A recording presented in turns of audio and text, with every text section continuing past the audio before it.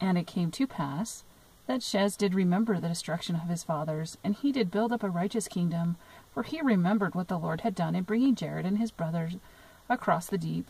And he did walk in the ways of the Lord, and he begat sons and daughters.